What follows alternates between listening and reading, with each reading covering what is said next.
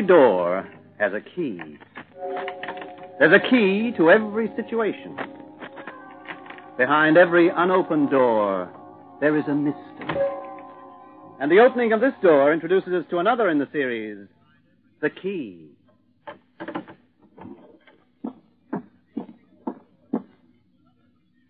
Try this one.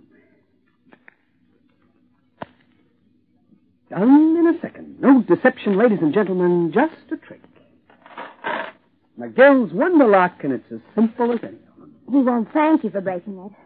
Danny, something tells me McGill is really after you this time. He has been ever since I opened that first mortise lock of his. Really after you. The full vengeance job.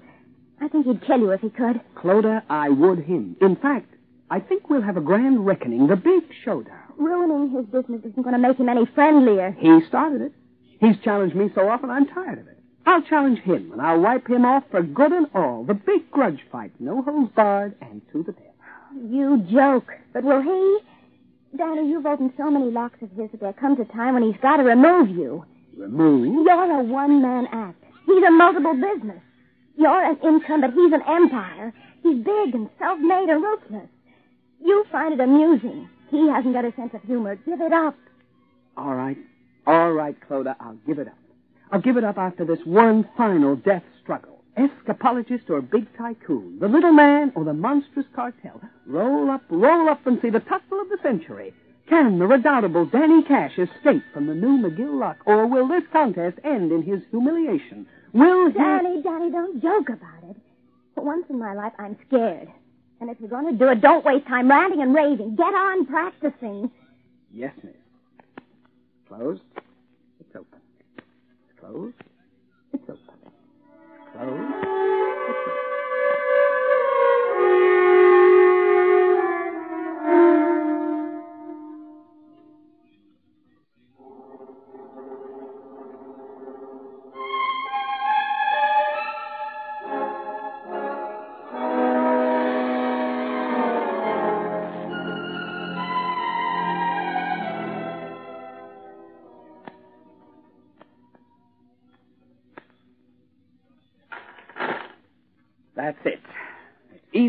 Clasp on a necklace. Ah. One week, McGill chews dust. McGill, the maker of putty locks. His locks may be putty, but he isn't. Has uh, anything happened, Danny? Happened? No, why should it? That burglar alarm? Oh, that. That was fixed. Well, you never know. Snoopers and spies and pale white things trying to find out more than they should. Clodagh, I may be light-hearted, but I'm not a fool. Aren't you? Houdini might have found the tank a little difficult, but there's no reason why I should. A bath. I must remember to have the water heated. Houdini nearly died. Danny, did you know I've been followed yesterday and today? The price you pay for being the wife of a celebrity. It wasn't that sort of following. It was the most unpleasant little man who, who glittered. His eyes glittered, and he wore a tie pin as big as a paperweight. Ah, cry havoc and let slip the dogs of war. The watchdog, the spy. McGill scared. I must make the bet twenty thousand dollars.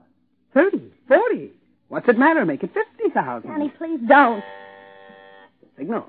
The pale little glittering man is on his way up. Glitter, glitter, little man. How I wonder who I am. Relax, dear. Take it easy. Leave it all to the luck of the Irish. A trap for the unwary. And who is so unwary as the trapper trapped?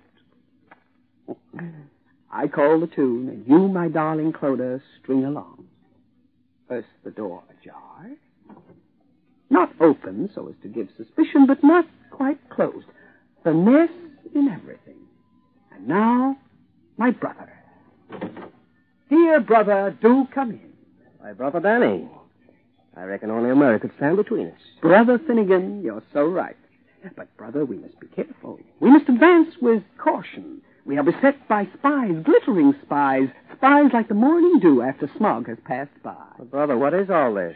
We've done a double act for years. Why should anyone find out now? Ah, there is double dealing and treachery afoot. Big men, big men, if you get my meaning, would give a fortune to know that Danny Cash, the amazing, the incredible Danny Cash, does all his amazing feats of escape with the aid of a brother, a double, a twin, an identical spit. Yeah, not safe, brother. Caution. The word is have a care and trust nobody. There, Clodagh, I would kiss that ferrum off, but uh, alas, you might not know I'm me and think I was the other. Brother. But have no fear. Our double treachery and treacherously doubling to fool the audience is a secret between us. If so small a thing as a secret could come between us, a secret. What is it? A whispered word, an endearment, a coziness engendered merely by knowing something others do not. Your lips are. Brother. Alas, who can blame me for wishing to taste the bitten apple? Twins are the same in love and need and want. My heart beats the self same rhythm, the exact music. And Blarney. Touche. A hit. A palpable hit. No more. Finnegan, we are here for business. Ah, enchanting business. Will you stop making love to my wife and listen to me? This is very important. McGill is really after us this time. No holds barred. And if he should find out that we pulled a gag on him and the public by switching, he'd. Well, he'd wipe us off the face of the earth. For 20 years, my dear brother Danny, we've gotten away with it. Well, I hope you're getting away with it this time. And I hope you know what you're doing. But of course, enemy, jealous lover, brother, all in one. Danny's right. And you are too, Clodagh. We must be very careful this time. Caution. Forethought, track covering, and still more caution. Twin and identical brothers fooling the public. Oh, five. And, Finnegan, remember, if McGill should find out, it'll be more than five. It'll be as good as putting our necks in a noose. So, caution, care. Shh. I'll see you back safely to your hideout. Follow me. And see you in a week at the theater. Well, so much for that. And look at me, not in awe. Such cleverness comes to me naturally. Pride comes before a fall. How prettily you coin a phrase. And. Ah, our glittering friend has gone. Well, now we relax.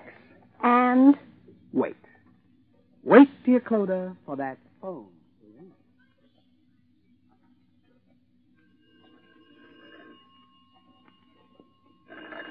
Ah, patience brings its own reward. Bet you a dollar it's McGill. Hello? One dollar. Don't tell me, let me guess. Why, a voice like a rusty lock could only belong. Cash. Listen to me, Cash. $100,000 on the outcome of a week tonight. My dear fellow, make it two, three, four, if you like. I'll tell you what, let's make it a, the round half million. you haven't got half a million. I soon will have. Let me see. All right, done. I'll give it to the papers. You've gone too far this time, Danny Cash. And talking of cash, we'll make it cash. Cash on the mail. Cash at the theater. You come to the theater with $500,000 in cash, cash. Ah, you're cash this time. Goodbye. Rush in, sweet McGill, rush in. Danny, you haven't got half a million. Oh, this apartment, the furniture, my insurance, and yours, the car, jewelry. Oh, I think we'll make half a million. You'll make it without me. I've made that jewelry by hard work, keeping you from spending it. And you haven't got any insurance. They wouldn't. And as for the car and the apartment, they're mine. You gave them to me. Honey, lover, lamb, what we have is ours. Oh, it's no good, Danny. The dawn in the morning, I don't keep that from you. You sleep. The silver of the moon and the music we've shared. Clodagh, darling, this is me, your own husband, the light of your eyes asking. No. Honey, lamb, I've never asked you for anything. You know the world, the gold and the silver, and all I have is yours for the asking, and my love. My love in my heart that overflows. Clodagh, darling, ask me and I'll snatch a star to put in your hair. I'll waft clouds round your shoulder and have the night to cloak you in midnight and make all the...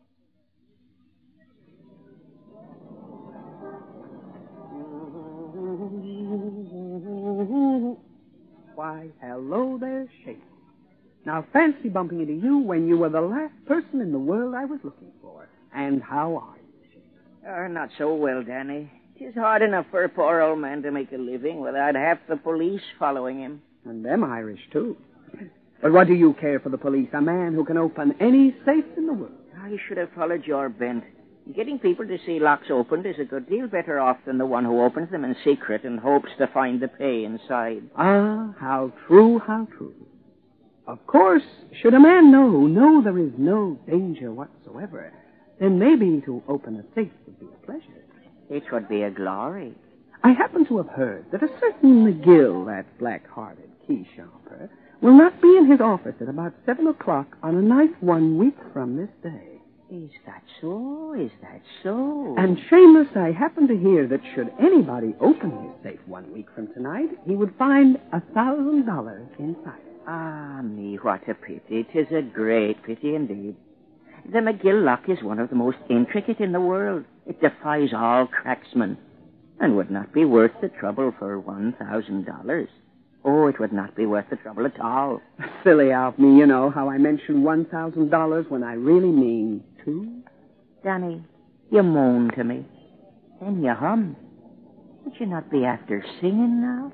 Two thousand five hundred, and that's my top note. And beautiful it is, true and sweet. Mr. McGill's safe, if it had not hinges, would be an uncorked bottle. This night, in one week's time. Uh, about seven, you said? About seven. I'll be after going and getting a little practice. Sure, it's a formidable assignment to be opening Mr. McGill's personal safe.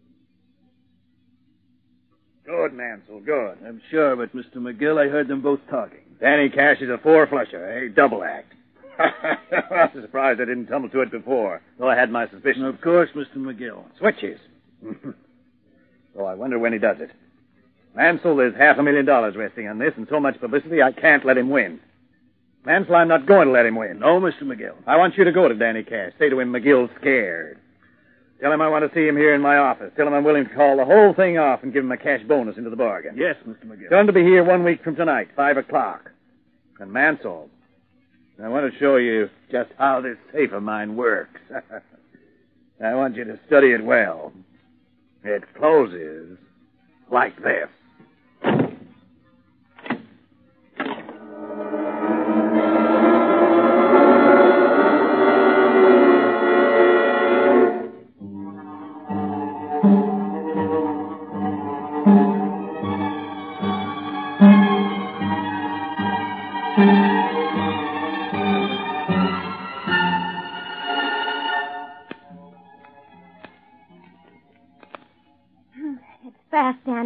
More than dexterity you need to beat McGill. His lock is punk, and he's beaten already. Clodagh, dear, every man has his price, and every man his pattern.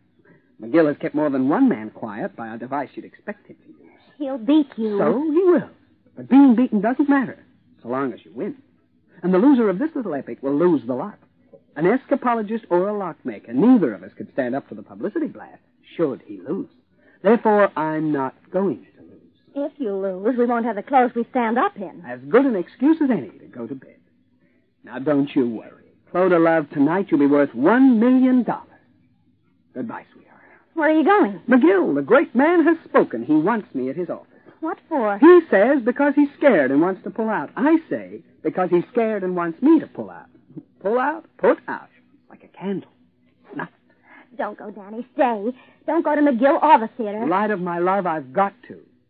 There's nothing so poor as a frightened man. Besides, I'd like to retire before anybody discovers how I do my escapes. Now, don't you worry. You'll be at the theater at 8 and watch your Danny live up to his name. See you later, sweetheart.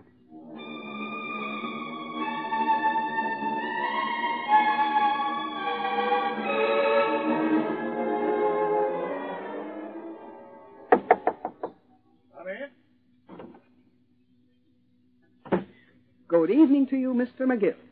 To you, Mr. Man. Sit down, Cash. I'll stand. A standing man has the quicker getaway. Cash, you're a dangerous man to me. And danger, if it can't be avoided, must be eliminated. A big business can't afford to be held to ransom by one man. Then pay me. Pay me and let me go. I'm not greedy. I'll take the 500000 you're going to lose tonight anyway. I sent for you because I know you are greedy. If you weren't, you wouldn't have come. And I also know you'll be scared after I tell you a few facts. yes, in a moment, Mansell. So, to get over your greed and the scare that's going to come to you, I'm willing to pay you $5,000. For that, all you have to do is announce that you're ill, that you can't go ahead with tonight's performance. And if I won't? Then I'll have to scare you. If it's your face you're thinking of, I've got used to it. Tell him, Mansell. Mr. Cash, you're a fraud. You do your escape act by using a double, your own brother. Identical twins, I believe. Somehow, during the performance, you switch so that one of you appears appears to have escaped. I suppose the other removes his chains or padlock or whatever it is at his leisure. Unmasked. Quite so. So I think it's all perfectly plain. Either you take Mr. McGill's very generous offer, or you, or your brother, dies tonight. You couldn't do it. You couldn't be such fiends. The safety of the McGill commercial empire is far more important than a mere individual. But to let my brother die horribly, suspended head first in a tank of water would be too inhuman, too ghastly. Even if the water is warmed. I don't think we need bother about all that cash. Take my offer and get out. No. No, I owe it to my public. The show must go on. Nonsense. Cash, you don't seem to realize the seriousness of my intentions. To uphold the McGill name, I warn you I don't mind what lengths I have to go to. Be wise, Mr. Cash. No. Sorry. I'm always ready to bargain with sensible people. But as you're not, then I have no alternative. Will you walk into my safe, or do Mansell and I have to carry you? No. No, not that. Please, Cash, no shouting. The staff have all gone, and beyond us three, there is nobody. All right. All right. You win. Oh, sorry, Cash. You've had your chance. I never go back once my mind is made up. The safe, please. Reconsider. Think. My wife. You should have thought of her before. The safe, please. I'll fight. You'll have to beat me first. Mansell. Can't I persuade you, Mr. Cash? As Mr. McGill says, once his mind is made up. Very well. But you haven't heard the last of this. Will I be able to breathe? It has been occupied before. The last man was still alive after 12 hours. We'll let you out after you fail to appear at the theater. I close the door, Mansell. Pleasure. I warn you, I can escape from anything. I can. Uh, think we're being wise, Mr. McGill? After all, if his brother does go ahead gets drowned. now, don't be silly. Would you if you were his brother? No. oh, there's no danger. With him locked up, there's no danger to McGill Incorporated either. Come on.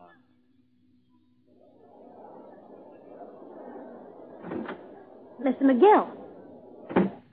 Mrs. Cash, I've come to warn you to call the whole thing off. One of the brothers, I don't know whether it's Danny or the other, won't be appearing tonight.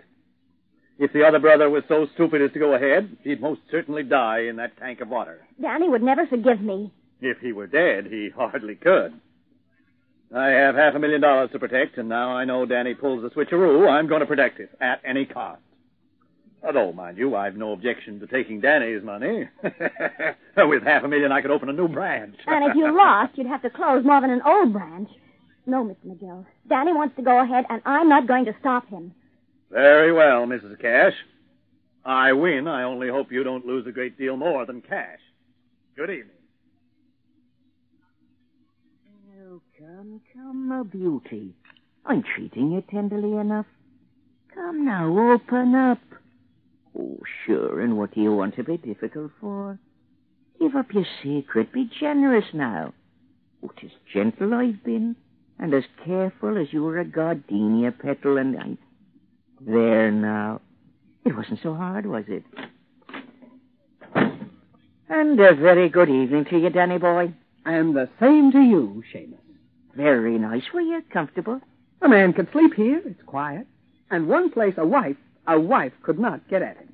Thank you, Seamus. You'll pardon me, but I have an important date at the theater. Of course. After a little matter of $3,000 has been settled. 2,500, Seamus. Oh, yes. But what is 500? Nothing, Seamus. That's why you're not getting it. 100, two, three.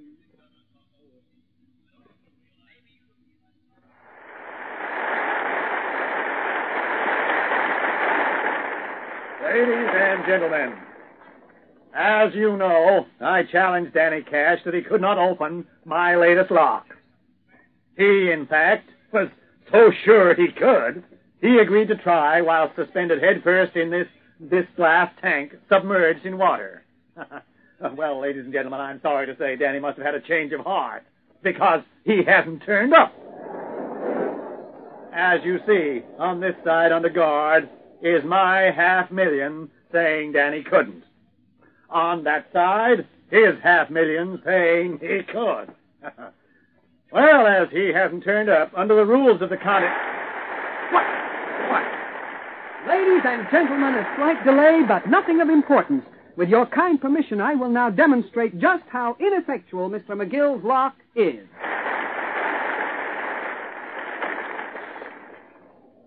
Where'd you get to, Danny? McGill's been making awful threats. Don't worry about that, darling. There's something else on my mind. What, dear? What is it? Has that water been heated?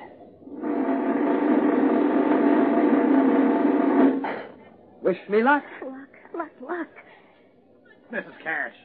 Mrs. Cash, he's not really going ahead with it. If he's not, he's putting up quite a show. But, but I, I, I, I happen to know. Mrs. Cash, his brother isn't here. He won't be able to switch. Uh, though how he was going to, I wouldn't know. But, uh, Mrs. Cash, you, you, you've got to stop him. There'll be a terrible tragedy. Mr. McGill, when it comes to a million dollars, I don't interfere with anybody. And it'll be too late now, anyhow. Oh, dear. He'll never do it. Never. He'll drown. Five seconds. Ten. Upside down in the glass tank. He hasn't got a chance. Not a chance. He, he, he can't do it. Half a minute. Oh, dear. Oh, dear. Oh.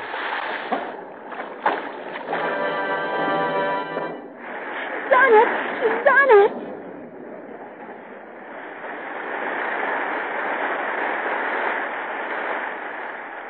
Oh, darling, darling, I never thought you'd do it. Give me my dressing gown.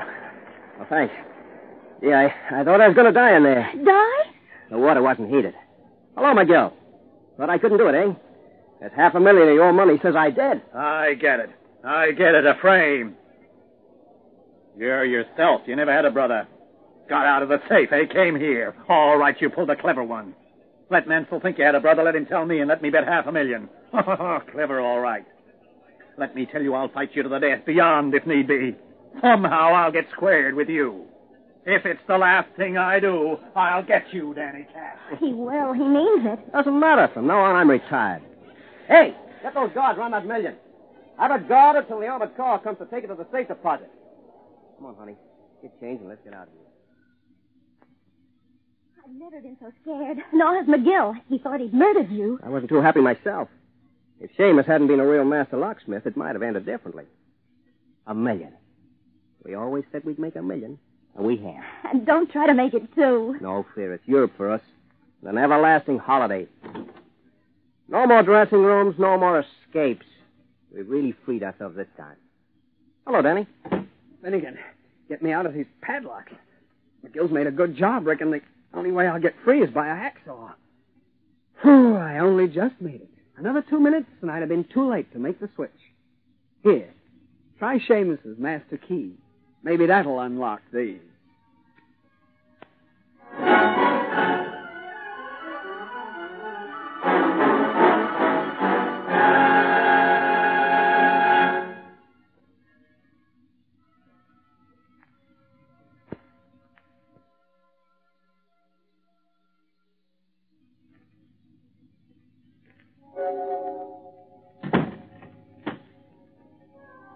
Closing door finishes a story.